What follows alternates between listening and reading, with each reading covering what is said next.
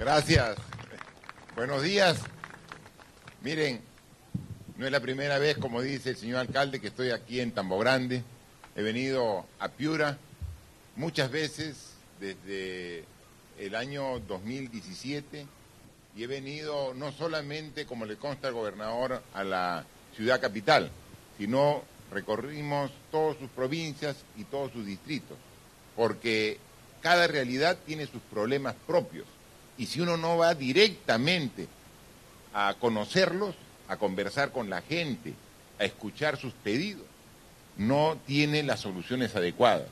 Y en consecuencia, seguiríamos pasando el tiempo y manteniendo la postergación de los pueblos. Porque eso es lo que finalmente concluimos cuando tomamos conciencia de que dentro de muy poco, el año 2021, vamos a cumplir el bicentenario de nuestra independencia.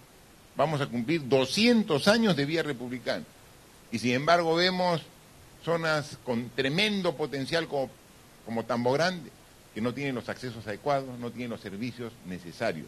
Y entonces uno puede decir, 200 años de vía republicana y no hemos atendido lo elemental.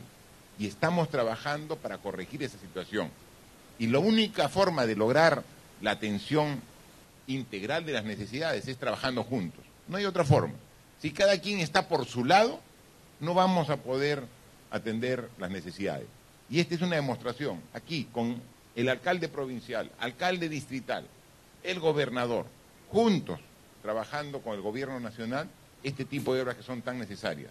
Y cómo no, estando aquí uno se, entera de las posibles obras complementarias.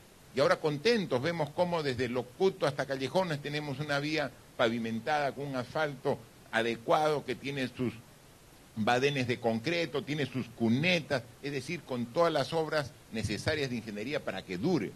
Pero bien, venimos acá y el alcalde dice un esfuercito adicional, un kilómetro más y completamos e integramos. ¿Cómo no vamos a aceptar? Aceptado el pedido, e inmediatamente vamos a proceder a trabajar ese, ese complemento. ¿no? Y entonces tenemos que trabajar y tenemos que integrarnos. Por ejemplo, Tambo Grande tiene una conexión como Ropón, y en, este, en esta vía tenemos 11 puentes que necesitan ser construidos de manera adecuada, que cada vez que cargan los ríos, las quebradas, se interrumpen las vías de comunicación.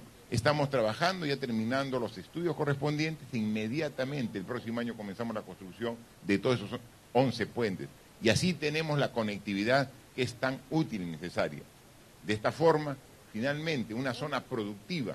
Hemos visto la calidad de los productos. Ahora hemos visto, como nos ha mostrado y amablemente nos ha entregado unas cajas de mango de Tambo Grande y vemos calidad de exportación. Productos que son el orgullo de la capacidad de trabajo que tiene el agricultor piurano. Productos que pone en alto el nombre del Perú. Y entonces uno cuando ve este tipo de productos tiene que dar y fortalecer el trabajo agrícola, con apoyos al agricultor, al pequeño, al mediano, al grande también. Pero tenemos que dar apoyo dando también servicios adecuados, que tenga, por ejemplo, el agua asegurada. Y entonces tenemos nosotros las fuentes de abastecimiento de agua, como la represa de Poecho, que ha sido intervenida para aumentarle su capacidad. Pero vemos que no es, no es suficiente, no es suficiente y tenemos que pensar en Vilcazán por ejemplo, y será una realidad y vamos a hacer todo el apoyo. Piura es una región que dispone al año de 6.000 metros cúbicos de agua, 6.000 millones de metros cúbicos de agua, pero solamente aprovecha 2.000, 4.000 millones de metros cúbicos, es decir, dos tercios se van al mar sin usar, incluso muchas veces generando daño por los desbordes que generan tenemos que hacer un esfuerzo del trabajo integral. Y es ahí el trabajo que le hemos pedido a Amalia como directora de reconstrucción. Que tenemos que hacer la carretera, sí. Que tenemos que hacer los colegios, claro. Que tenemos que hacer los hospitales, como hemos estado con el gobernador recientemente en Canchac inaugurando el hospital, como estamos avanzando el hospital de Ayabaca, de Huancabamba, de Huarmaca, y vamos a empezar ya pronto el hospital de Sullana.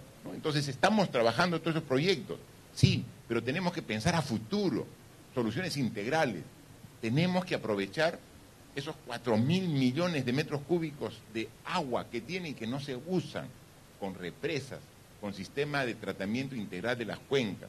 Eso estamos trabajando. Y para eso, incluso, hemos visto para usar aquí en Piura y en el norte el modelo que funcionó bien con los panamericanos, este, este modelo de PMO, de contratos de gobierno a gobierno, para que vengan gobiernos con la más alta tecnología del mundo a aplicar sus conocimientos aquí. Eso lo estamos haciendo y a partir del próximo año lo vamos a implementar. En consecuencia, estamos encaminados para atender las necesidades. Y así, con los municipios, seguiremos trabajando de la mano en esas obras que son directas para el ciudadano.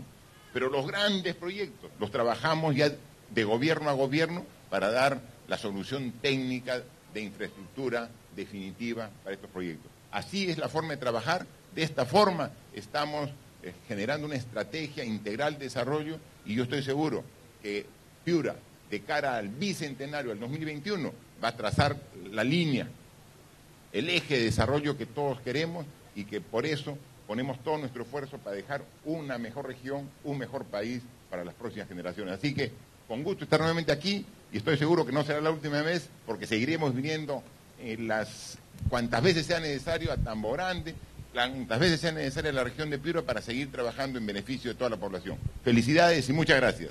Fuerte el aplauso, muchísimas gracias por sus palabras, señor presidente. Gobierno del Perú, el Perú primero.